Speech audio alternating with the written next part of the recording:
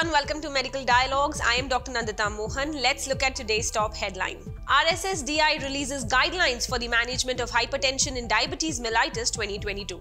Catering to the pressing need to outline an evidence and experience based comprehensive treatment yardstick, the first ever Indian guideline for the management of hypertension in diabetes mellitus has been released by the RSSDI, the guideline recommends that calcium channel blockers must be preferred over beta blockers and thiazides in combination therapy with angiotensin II receptor blockers for better cardiovascular and renal protection in diabetic hypertensive Indian patients.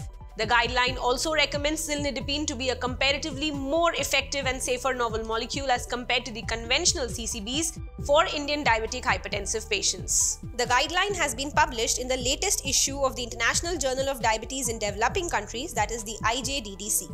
ARBs must be preferred over ACEIs in diabetic patients with hypertension, telmisartan or azilsartan being selected as the first line agent the guidelines said, adding that a grade A recommendation citing that ARBs either alone or in combination with CCBs can be used for blood pressure control in diabetic patients. The guideline mentions that for combination therapy, calcium channel blockers are recommended to be administered along with ARBs instead of beta blockers or even diuretics to avoid the risk of cardiovascular events and even hyperglycemia.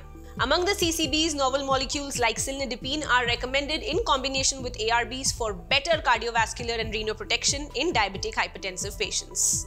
Amlodipine and cilnidipine are equally efficacious in reducing blood pressure. However, the incidence of pedal edema is reportedly lower with cilnidipine than with amlodipine.